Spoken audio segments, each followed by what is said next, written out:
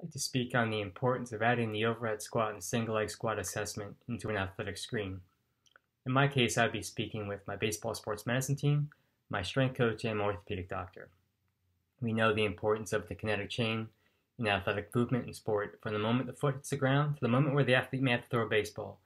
It's a timing and sequence of events. It's an unloading and loading of forces, muscles, bones, and joints, and when it all comes together, it's a beautiful thing to watch. I really think that these two assessments speak to that, what's going on locally and globally, can help tease out potential movement dysfunction. One question I may get is how does this fit into what we do by way of assessment and testing, or assessment and testing? Fits in nicely. This is not a, an expensive test. There is no expense. All you need is a decent amount of space to move around in, a clinical eye, and a willing athlete. Again, I think you get a lot of bang for your buck with these two tests and can help guide you in many, many, many different performance avenues. Another question I may get is how does this compare or relate uh, to traditional testing measures?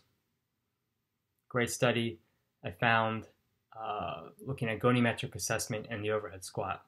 It's a study by Noda in 2009 uh, that looked, or what they found was a decrease in ankle dorsiflexion, uh, correlated well with uh, an early uh, heel lift in the squat, what we may, what the textbook deems as as a, a tight gastroc or soleus or Achilles.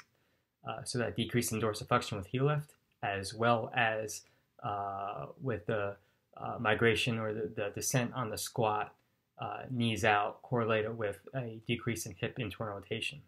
So I thought that was two uh, cool findings that they found with a traditional measure, uh, testing measure, and this overhead squat. Kind of in that same light, uh, one study out of the Journal of Strength Conditioning Research in 2011 by Mauntel found that based on what we know about the single leg squat and uh, uh, underactive and overactive tight versus uh, inhibited uh, muscles found this decrease in coactivation with gluteal to adductor muscles and a also a decrease in dorsiflexion. So there's two studies within uh, the, these two assessments, the overhead squat and the single leg squat, that showed this decrease in dorsiflexion resulted in aberrant movement and potential movement dysfunction.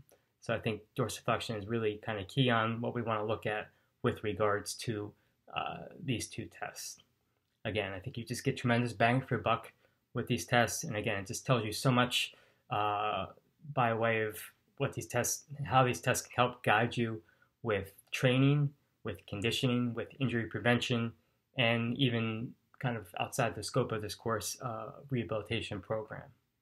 So again, if we start small, simple, methods and testing, this can help guide and lead us to complexity with the OPT model of stabilization, strength, and power. Simplicity yields complexity. Thank you.